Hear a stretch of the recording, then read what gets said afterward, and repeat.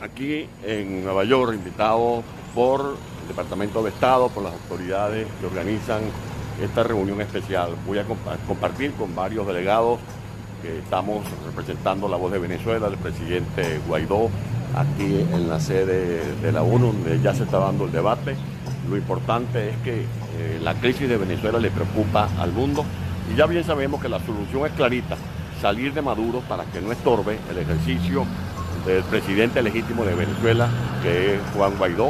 Eh, agradecemos al presidente Sánchez que esté pendiente en España, que le dio ocho días, pero no para convocar elecciones, porque Maduro no tiene cualidad para convocar elecciones.